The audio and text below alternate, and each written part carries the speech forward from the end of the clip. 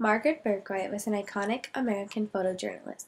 She is best known as the first female war correspondent, the first foreign photographer allowed into the Soviet Union, the first woman allowed to work in combat zones, one of the first photographers to document the death camps during World War II, the first photographer for Fortune magazine, and the first female photographer for Life magazine. Margaret was born in 1904 in the Bronx to Joseph White and Minnie Bourke. She grew up in Bound Brook, New Jersey, and graduated from Plainfield High School.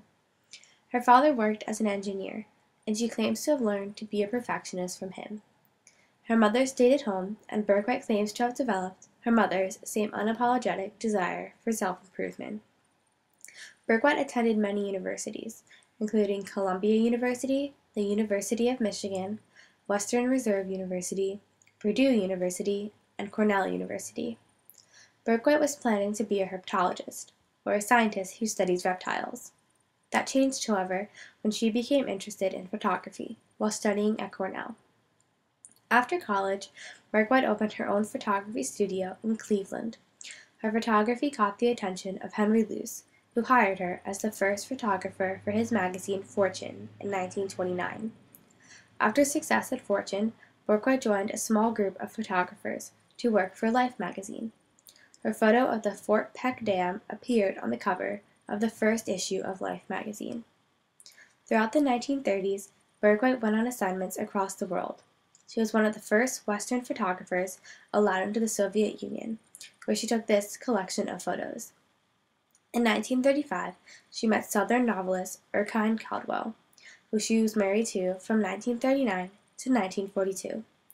The couple collaborated on three illustrated books, You Have Seen Their Faces, created in 1937, about southern sharecroppers, and North of the Danube, created in 1939 about life in Czechoslovakia before the Nazi takeover, and Say, Is This the USA, created in 1941 about the industrialization of the United States.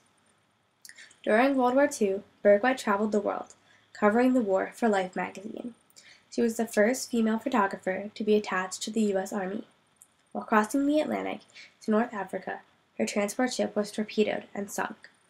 Bourke-White survived and continued to travel and cover the war from Italy, Moscow, and Germany. She was one of the few photographers to visit the concentration camps. Her photos of the people in these camps stunned the world. After the war, she traveled to India to take pictures of Gandhi. Before she was allowed to photograph him, Gandhi made her learn how to use the spinning wheel.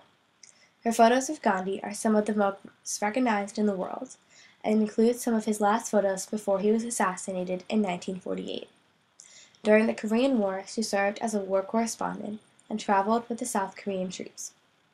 Bourke-White was diagnosed with Parkinson's disease in 1952 and continued to photograph and write until she retired from Life magazine in 1968. Margaret Bourke-White died August 27, 1971, in Stamford, Connecticut. Before she died, however, she created a lasting legacy on photojournalism. She took pictures of things no one else did and received worldwide recognition for her photos. She was one of the first to put herself in harm's way for photojournalism. Her contributions to the press are numerous and substantial. She shared with the world what was happening during times of war and hardship, and changed the way that women are viewed in the journalistic world.